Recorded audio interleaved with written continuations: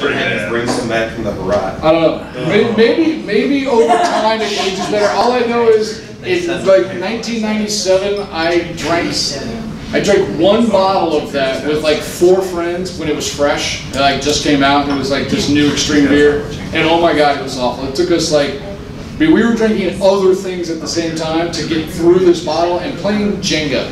I remember this, like a Tuesday night. So, but barrels have become fun. Um, do you guys do much? You guys play with barrels? Us, yeah, we have a barrel aged uh, Yeah. beer festival every Yeah. year. So barrels have have become a recent thing. You know, people have been doing it for a while, but it, recently people have really started to kind of figure it out. And they started to figure out that you can do a lot of really cool things. You have to be really careful because it, it- it's a little more fragile. Um, even though you're usually starting with a pretty big beer, like this is our Imperial Stout, it's pretty big to go in before it goes into the barrel, but they're still very fragile and mistakes can be made. You have to be really cautious with it. Um, but it is definitely, again, just proving the point that there are no rules for American brewing. Um, now, put it in a barrel and add some blueberries.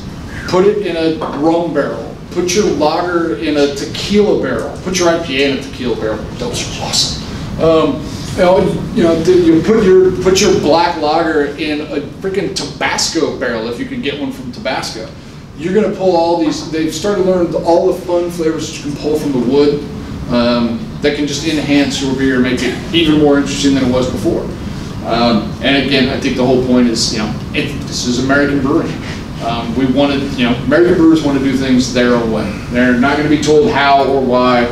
And the more they screw with the big beer establishment, the more fun they're going to have. Every time they take another half a percentage point away, it just gets more and more interesting because that just encourages 10 new guys or 100 new guys to open up their brewery and do their own thing. Are we going to a weird place? Are there too many guys out there that are, are a really decent home brewer that have absolutely no idea what a full-size professional kit is like and trying to brew on it? Absolutely. Will they wash themselves out because their quality's not good enough? Yes, eventually. Do you ever think this, the stupid stuff that certain breweries are doing, like mixing uh, Russian Imperial stouts with stuff like uh, Sprite? Like, do you ever think stuff like that's detrimental overall? You say you're changing, you, you make a point of changing flavors, but Yeah. it's at a certain point. I personally, uh, personally, or for the, the topic of this conversation, personally, I think it sucks. Why, you know, there's there's a limit to what's good and bad. Yeah. But for the topic forward of today, again, it's you know, American beer has and always will be about doing things differently than somebody else, making up your own way of doing things. Um, But I don't necessarily, do I, do I like it? Do I? No, it's not always good. But sometimes you have to take one step back to take two steps forward. And it's got, to, somebody's got to actually put the, somebody has to make a Zima so we can learn that we don't need Zima.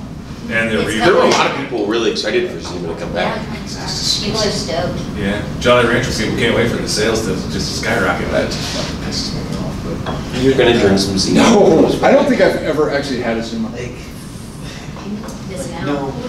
Zima with your Jolly Yeah, Rancher. we're don't lie. What was that? What was I drinking? You were sixteen. Matt's so old that when he was 16, there was only 18 breweries left, so. There was a craft beer explosion. Uh, Little Kings.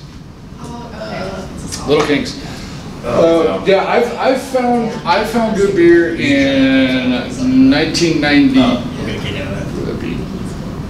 Uh, 94. I just started working at Big Red, and it was like the second year they'd ever had the Big Red Beer Fest, which was a lot cooler then than it is now. Now it's just an annoying pain in the butt. Back then, it wasn't a very big deal. Can't wait for that to go on YouTube. Right. Please don't do that.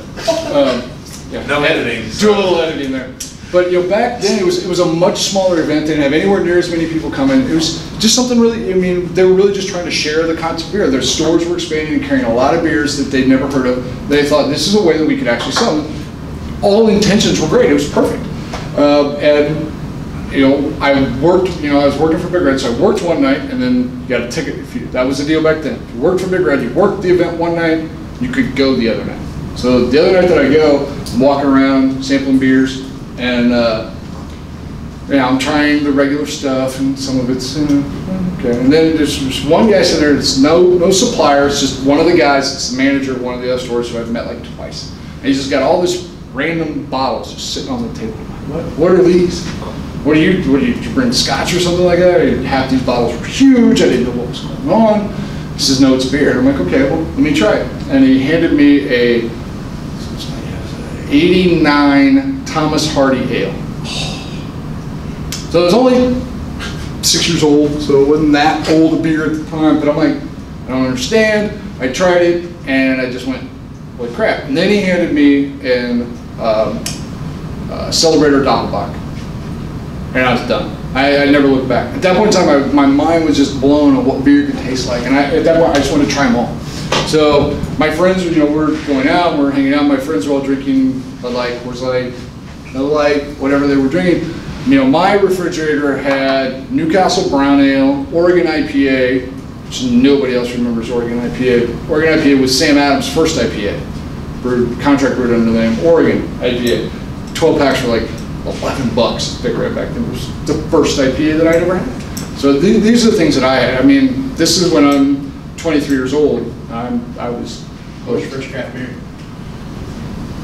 probably that Thomas Hardy. So,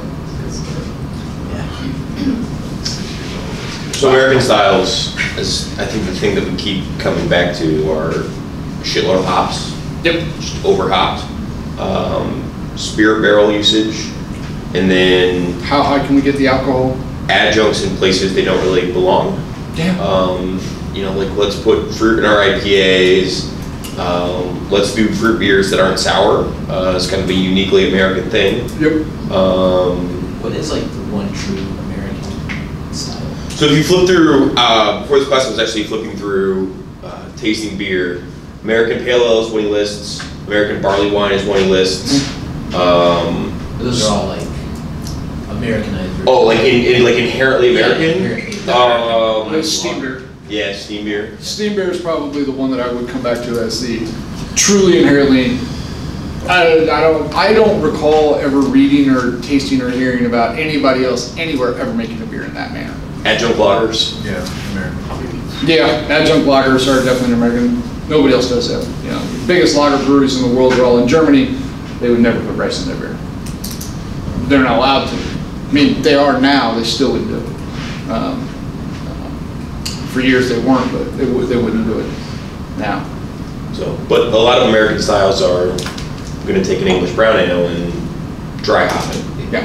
Yeah. That's, that's what most of the American brewers, you know, we start with this, and then we add hops, add alcohol, you know, use a ale yeast, which should be a lager, you know, that's what American brewing has become. What can we do to change it just a little bit? Because we have to make, you know, we're Americans, we have to make everything bigger and faster and stronger than it was before, even if it was just fine. You still have to do it that way. Sometimes it works out great, sometimes it does not. But that's the whole process. Anything else? Thanks, guys. Uh, next week, mid-class review, next week will be the, the midpoint, so, uh, Evan and I will finish up Belgium from Bob's, like, master class. Uh, Bob talked for two hours about England and Germany. Germany. Bob the Mac. You Uh, let me do Germany. I uh, do Germany. Germany would have probably made more sense for you. Germany. in your brewery. I could have done. Um, Yeah. So I'll finish up Belgium and some other outline areas, and we'll kind of just do a review. It'll be very informal class outside of Belgium largely. We'll see. Uh, we'll probably do some more blind tasting, um, and we'll see where everybody's at. So, cool. Does Thank anybody you, have any questions about the test or the concept of it? Yeah. It's been a long time since I Other guys it, passed it. but I have passed it.